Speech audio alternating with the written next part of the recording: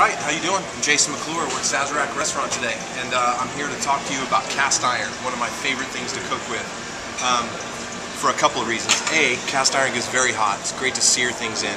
It's highly durable. If you take care of a cast iron pan, it'll last you forever. You can pass these down for generations and generations. What I see a lot with people is they're not exactly sure how to season a cast iron pan properly, uh, and if they're not seasoned properly, they don't work as they should, and people kind of put them off to the side, and you find them in the bottom of somebody's uh, pot and pan counter, kind of rusty. So let's talk about how to season a pan first. I've got a couple of them here in front of me. Uh, one is uh, an example of a pretty new cast iron pan. Uh, this has got a lot of texture to it, not quite smooth. This is another cast iron pan that's been highly seasoned that I use often, and you can see it's almost like a non-stick surface on the bottom.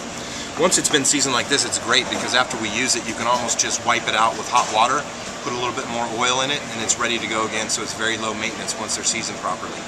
Uh, and what we would do, let's talk about why, why we season cast iron. Cast iron itself is very porous, okay? So uh, the process of seasoning cast iron is basically giving it some oil. Uh, in this particular pan, I might give it about an eighth of an inch of oil. Uh, important that it be uh, a neutral oil, like uh, vegetable oil, canola oil, maybe grapeseed oil.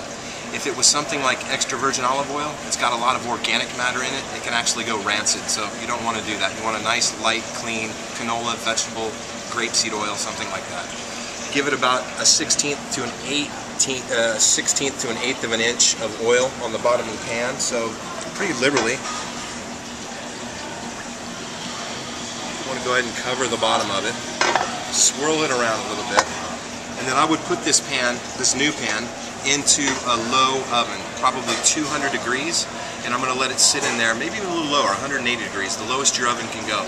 You can pretty much leave those things in there overnight or at least leave it in there for two to four hours. What's going to happen is the pores of the cast iron open up, it allows the oil to sort of sink down into the pores, and as those pores get filled with oil, it really creates a sort of non-stick cooking surface, which we really love. Okay? You can repeat that uh, process as often as you like. You'll find the more that you season your pan in the oven, the less, uh, the less you'll have to actually season it. Um, and that's it. Let it go for a couple hours, take it out, get rid of the oil, give it a nice wipe down, uh, and, and, keep it dry after that. Just a little bit of oil in there at the bottom. You don't want to leave water in these things because they will create rust. If that happens, go ahead and clean it up, give it oil again, and go for the seasoning process again. But if you continue that and you keep them clean and you keep them seasoned, you'll enjoy this cast iron forever, and I guarantee it'll be your favorite pan to cook out of as well. Come back and join us. See us at uh, see us at Sazerac Restaurant. We'll cook something in cast iron for you. Enjoy.